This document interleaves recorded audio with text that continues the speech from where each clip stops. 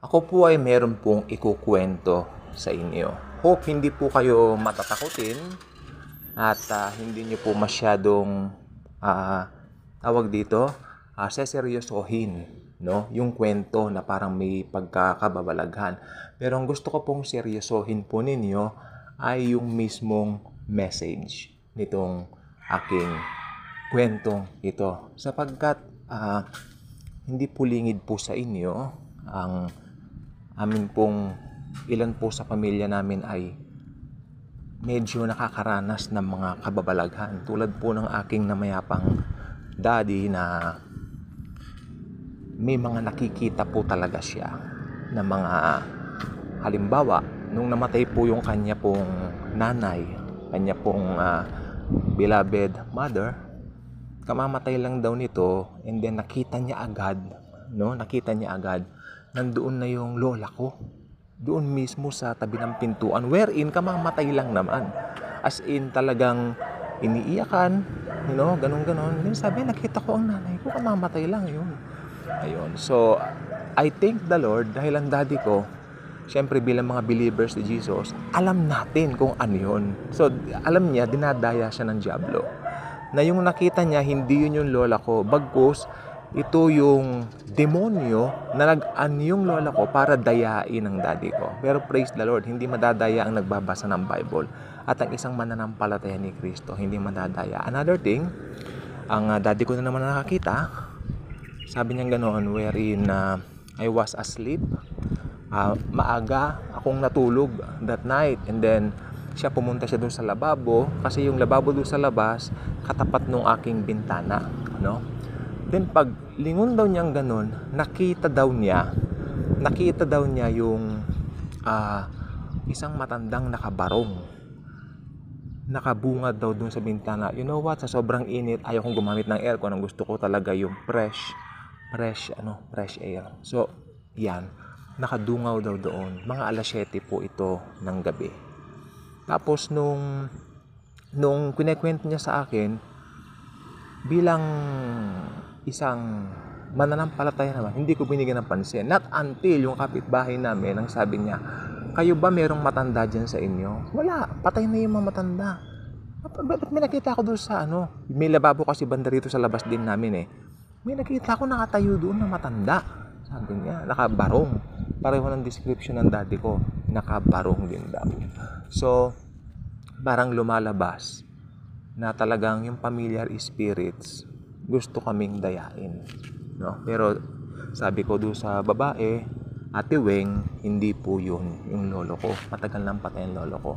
Pero may nakita akong matanda. And then, nung napagtanungan namin, yung mga tao, marami nagsasabi na itong lugar nga namin marami raw pong lumilitaw. Marami po talaga lumalabas. Pero alam po ninyo, ni minsan wala po ako nakita.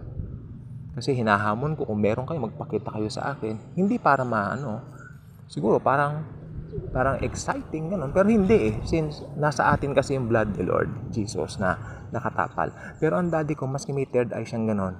Kristiyano po siya. Pero itong maganda sa daddy ko, one night, he suffered from something. Hindi naman po atake sa puso, pero parang nag struggle siya, parang nahihirapan siya makatulog nung gabing yon Then nanalangin siya sa Panginoon ganito, ganyan, ganun, ganon. Ito po, medyo iiwan ko po sa inyo yung desisyon kung anong paniniwalaan nyo rito. Kasi ako have my stand here sa nangyari sa daddy ko nito gabi. Way back, I think, sabi niya ganun, kung hindi ako nagkakamali, way back in the 90s. No? So, nag struggle siyang matulog and then, ginawa niya, bumangon, uminom ng tubig. Siyempre, inom ka ng tubig para maibsan yung iyong nararamdaman na hindi maganda, then makakatulog ka eventually. And right na, right then and then, sabi niya, Jesus. Lagi niyang binabanggit Jesus. Sabi niya gano'n. Ikaw na po ang bahala sa akin. Gusto ko rin makatulog kasi may trabaho pa ako bukas. Sabi niya. I think maliliit pa kami noon, mga bata pa kami. Okay, right there and there, uh, nagising na naman siya. Siguro almost 12 o'clock And then may nakita raw siyang kamay na nakapatong sa kanyang tiyan. May butas daw yung kamay.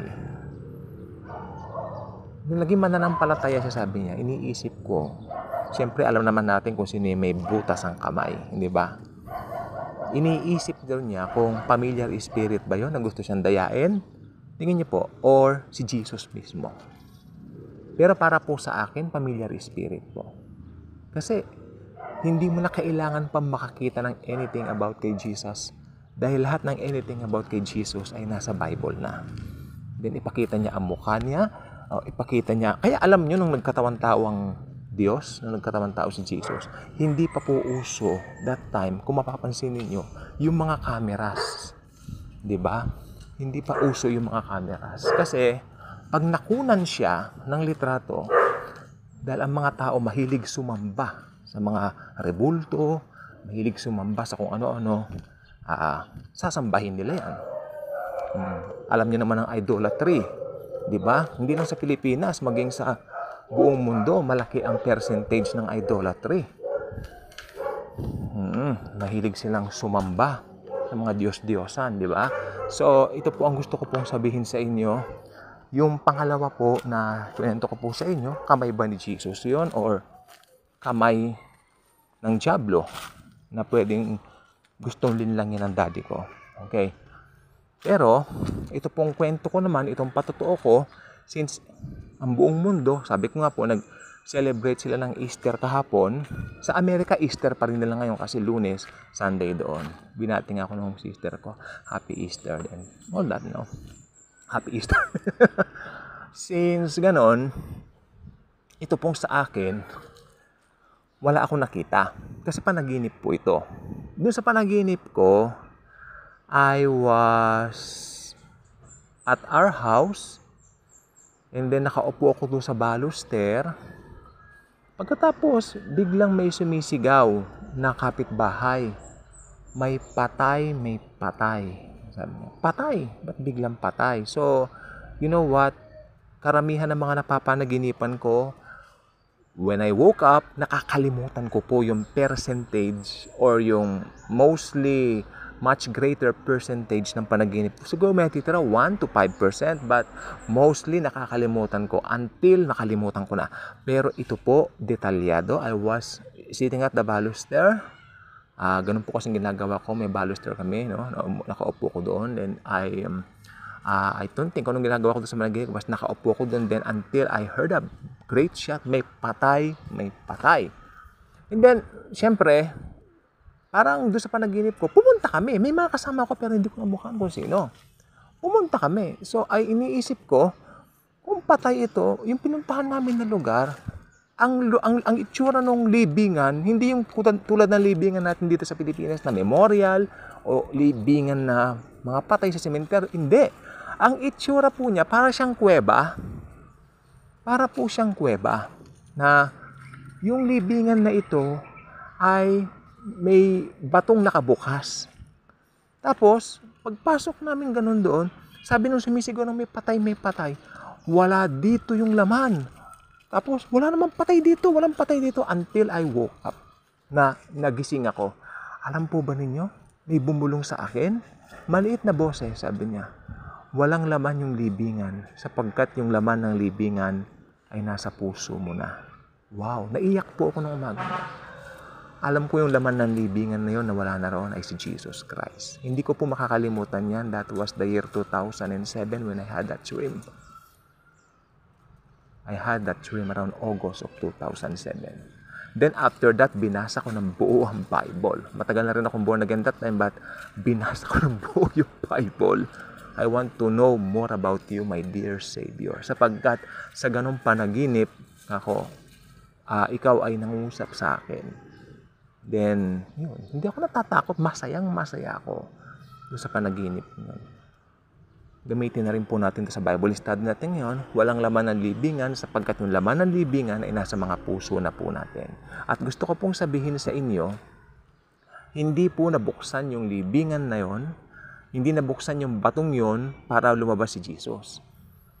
Kaya si Jesus, tandaan po ninyo si Jesus Christ, uh, nung nabuhay po siya, glorified body, tumatagos po yan maski sa mga pintong nakapinid, hindi ba? So, uh, tumatagos yan maski sa mga pintong nakapinid.